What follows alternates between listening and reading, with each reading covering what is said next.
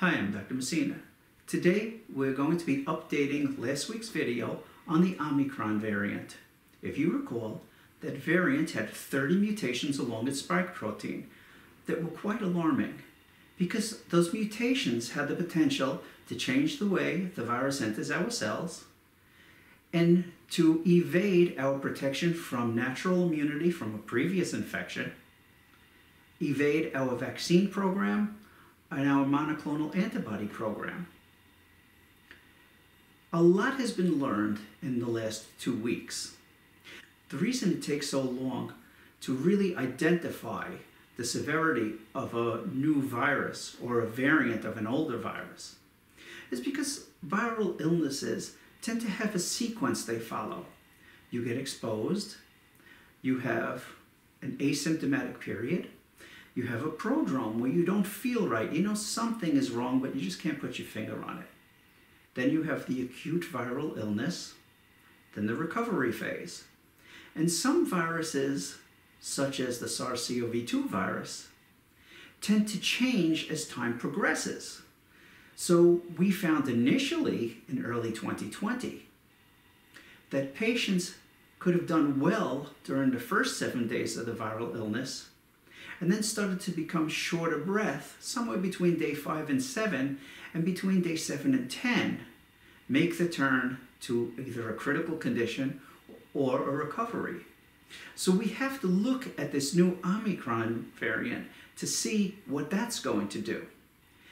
The good news is, so far, it seems like the Omicron variant is giving a more mild disease with headaches, sore throat, sneezing and coughing, and general fatigue as the major symptoms.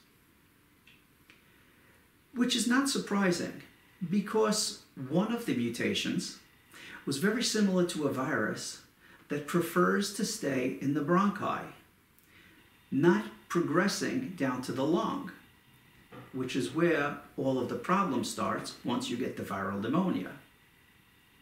Negative side effects of these mutations are that the spike protein is mutated enough that our natural immunity has been evaded. So just because you've had a previous infection with SARS-CoV-2 virus and had COVID-19 doesn't mean you're immune from getting it again. We're finding a lot of patients are getting second and third infections of COVID.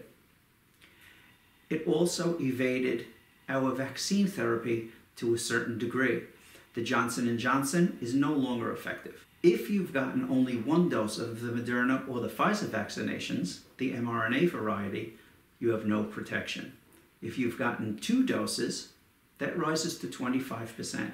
Three doses could bring you to 80% immunity. It also evaded two of our three monoclonal antibody therapies. So the Regeneron, which was a very popular therapy, is no longer effective. Instead, the GlaxoSmithKline monoclonal antibody therapy is still effective. However, because that wasn't a popular therapy, is in very short supply. Because the Omicron variant is giving a more mild course of a disease, is no reason for us to throw all caution to the wind. Patients who do get the Omicron viral illness are going to feel sick. They are going to present to the emergency room for care and walk-in clinics for care, displacing other medical necessities. So it has the potential to overrun our hospital systems, be it they might not overrun the intensive care unit, but the hospital system in general. And currently, the most critical patients from Omicron are the young and the very old. So we have a lot of good news this week and some bad news, and I'm sure it's going to change in the weeks to come. Take care, be safe, take reasonable precautions, and have a good new year. Here he is, everybody. And here we go. Here we go, the new member of the family. We call this the hairy variant. Oh, the hairy variant. Does he have four spikes or five with the tail? He's got five spikes with his paws and his tail. Hello.